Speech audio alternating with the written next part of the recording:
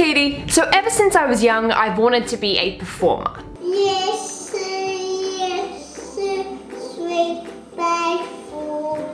And even more recently, I've been thinking how awesome it would be to be in a movie.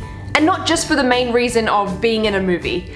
I actually have a few very specific reasons. First of all, you, or you as your character, would be able to do rebellious things and not get into trouble, because spoiler alert, it's all fake.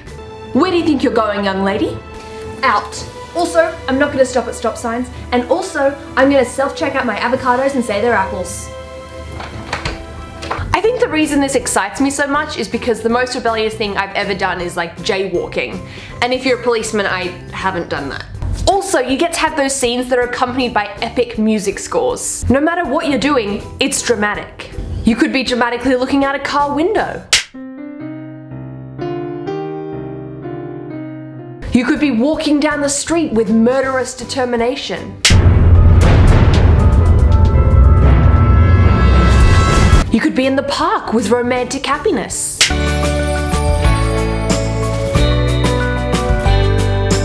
Or you could even be in the kitchen crying over use by dates.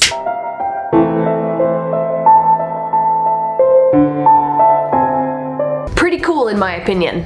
And last but in no way least, you would get the makeover scene. Every self-respecting movie has the makeover scene, where our main character goes from plain to amazing. Now the most important part about this makeover is that you're wearing glasses so then you can take them off and all of a sudden you're a different person. Then style your hair, put on a bit of perfume and lipstick and you're a new gal.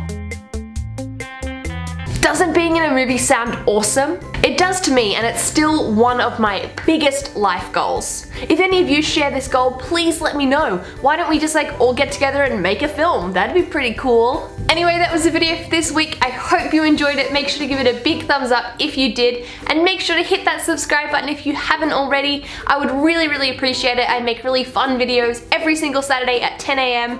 AEST, Australian Eastern Standard Time. Once again, thank you so much for watching. I hope you're having a wonderful day and I will see you next week with a new video. Bye!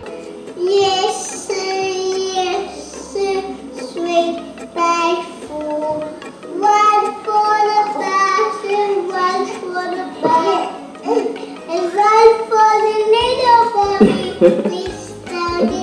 baby.